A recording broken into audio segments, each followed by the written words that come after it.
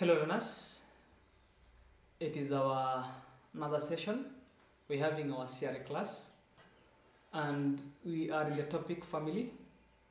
Now, in the previous class, we did introduce, we did, or rather we did look at uh, the Christian understanding of what a family is. Now today, we get to look at the traditional understanding of what a family is. Welcome all. Your tutor, your tutor is Roger Michira. The session watching is Elimu TV. Now, class, what do we expect by the end of the lesson? We do expect that we're able to discuss the traditional understanding of what a family is and also stating the obligations of a family in the traditional African society. Now, in African societies, creation of a family is through marriage.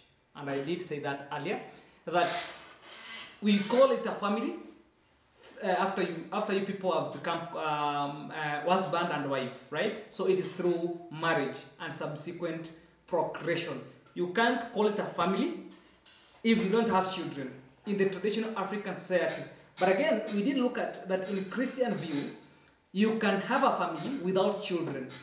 But in traditional view, there is no family without children. Right? That is why you saw men could again go marry right? And also sometimes women could also marry.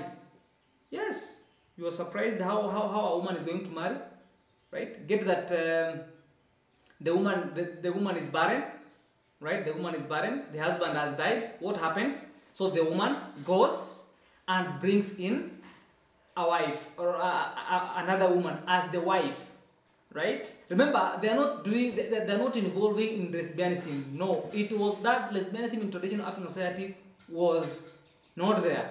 Now, how, how was a woman going to marry? Now, if the woman is barren and the husband has maybe died, right? Or also the, the, the husband is alive, but the woman still needs to have children. You know what happens? The woman is allowed to go out and marry, bring in a woman, right? As the wife. Now, the woman she has brought as the wife looks for a man to come and get babies with a married woman, right? Now, the children born in that family, they are not for this, they are for that family, the husband and the wife. And in that case, the husband is the woman and the wife is the woman, right? So you see that the woman is allowed to go in, out and bring a woman to sire children for her. Now, family is viewed as sacred and an institution in African society and traditional African society uh, in the traditional African society. Now, what are some of the obligations and duties, right, of a family? They offer sacrifices to ancestors, right? There's the issue of uh, pouring libations, right? Giving dead decent burials. When someone is dead, they get to give them a decent burial, right? Decent, decent burial. Pro, uh, providing the basic needs, the family, get, they get to provide the basic needs the family uh, bringing up uh, children to be morally upright individuals, right? Further to this, the African traditional family is responsible for, uh, for the upbringing, caring, and protection of its children. So also, in traditional African society, a family is expected to participate in communal activities, right? If it is a communal, communal building, all those, it takes place, right? and work in the family was divided according to age, gender, and social status. We had looked at this earlier before. We had looked at this earlier, earlier before.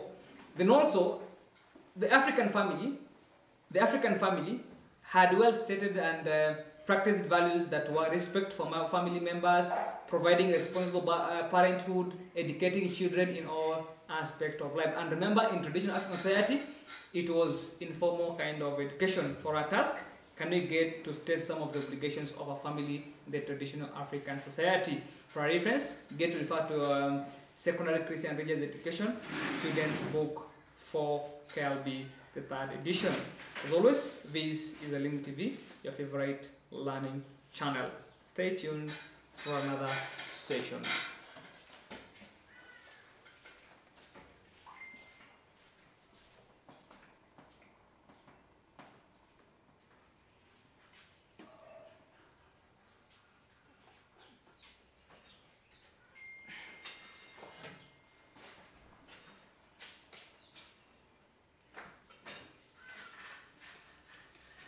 That is a traditional African understanding of family.